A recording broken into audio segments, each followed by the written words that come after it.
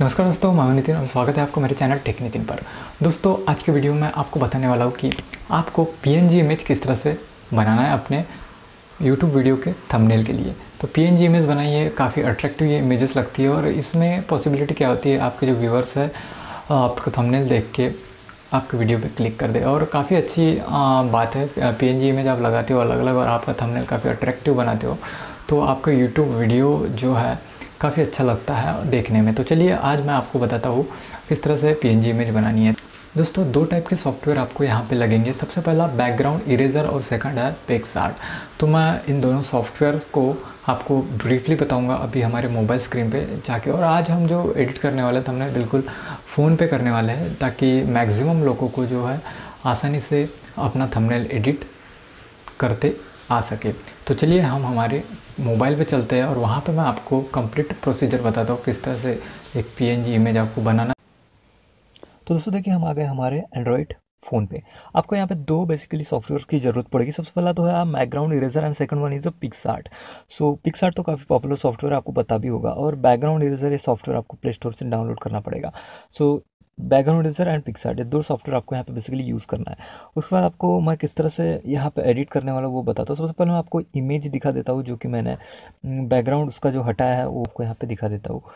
और किस तरह से उसे हमें इमेज बनानी है, वो भी मैं बताऊँगा। तो देखिए, ये ये बेसिकली इमेज आपको इस तरह से इमेज मैं आपको बना के बताने वाला हूँ। काफ़ी सारे यूट्यूबर्स आजकल यूज़ कर रहे हैं इस तरह के पीएनजी इमेजेस और काफ़ी अच्छे लगते हैं और आपके वीडियो को देखने की पॉसिबिलिटी जो होती है व्यूवर्स की, वो बढ़ जाती है। तो देखिए, इस तरह से हम यहाँ पे फ़ोटो एडिट करेंगे।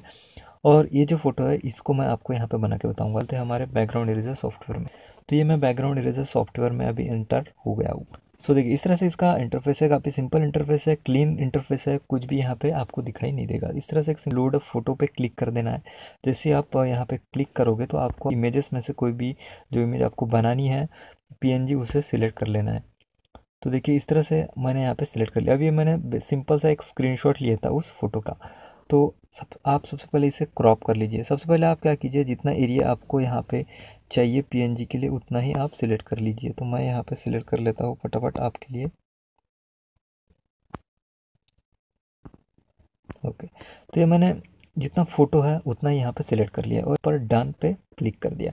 तो देखिए, ये इमेज आपकी आ गई यहाँ पे इरेजर में। अब देखिए, यहाँ पे बहुत सारे ऑप्शन आपको दिखाई देंगे extract, auto, magic, manual, repair और जूम। तो देखिए, सबसे पहले आपको सजेस्ट करूँगा आपको ऑटो यूज़ करना देखिए, जैसे आप यहाँ पे टच करोगे तो ऑटोमेटिकली वो जो है मैक्सिमम एरिया यहाँ पे हटा देगा। जैसे कि यहाँ पे मैं करता हूँ तो देखिए, जो जो सेम कलर का है वो हटा देगा। तो सबसे पहले आपको यही करना है, जो जो सेम कलर्स है उनको हटा देना है। जैसे कि मैं, देखिए छोटा सा इसको फिर मैनुअली हटा दूँगा।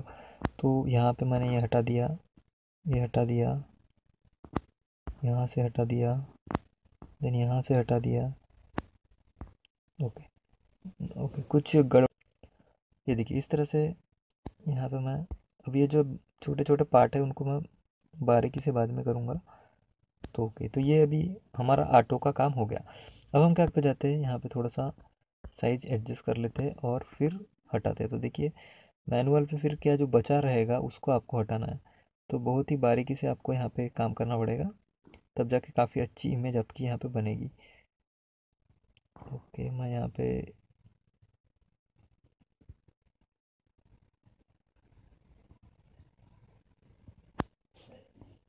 ओके ये हटा दिया मैंने, उसके बाद ये हटा दिया।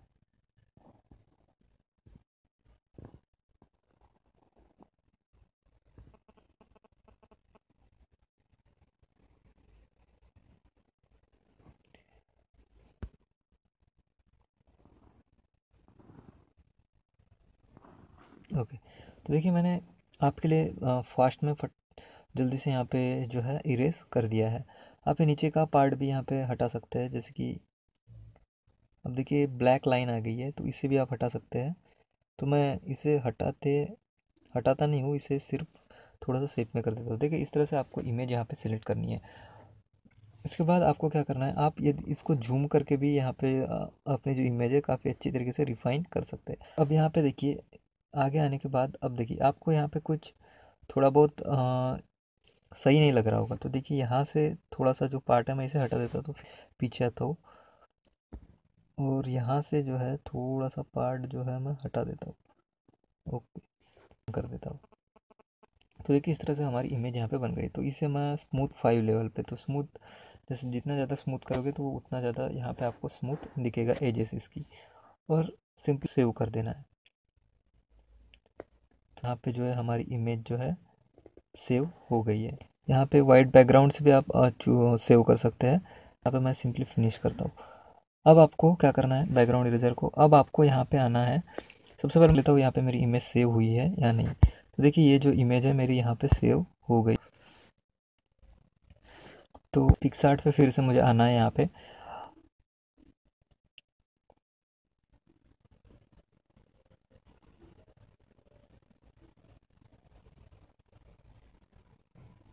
तो थोड़ा समय ले रहा है ओपन होने के लिए। ओके, ये हो गया स्टार्ट। अब देखिए, यहाँ पे मुझे अपनी इमेज जो है एडिट करनी है। तो ये जो है मैंने अभी भी बनाई है तो इसे मैं सिलेक्ट मैं सिलेक्ट कर लेता हूँ। तो देखिए, इस तरह से इमेज दिखेंगी। उसके बाद आपको आना कहाँ पे है? आपको आना है बॉर्डर्स पे। तो यहाँ पे मैं बॉर्डर का ऑप्शन ढूंढ लेता हूँ। बॉर्डर तो देखिए, जैसे बॉर्डर का यहाँ पे आप करोगे तो यहाँ पे बॉर्डर लग जाएगा। तो आपको इसे एकदम स्मूथ कर देना है। छोटा सा बॉर्डर आपको यहाँ पे लगाना है, इस तरह से। तो देखिए बॉर्डर हमारा यहाँ पे लग गया है। अब मैं आपको समझाने के लिए फास्ट में कर रहा हूँ। आप इससे भी बेहतर इमेज बना सकते हैं, बिल्कुल बारीकी से रिफाइन करके। तो ये हमारा बॉर्डर यहाँ पे लग गया। तो इसे यहाँ पे सेव कर देते हैं।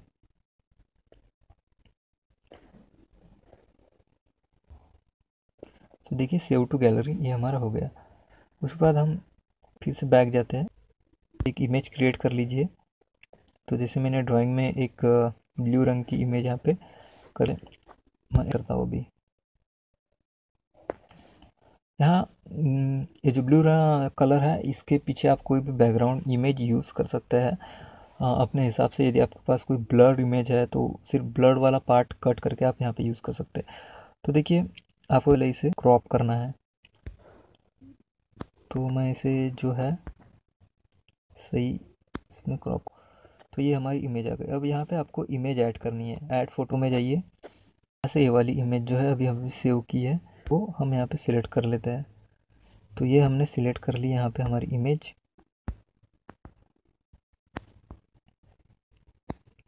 ओके तो आप थोड़ा सा ऐसे नीचे कर लीजिएगा, ताकि प्रॉपर दिखाई देगी।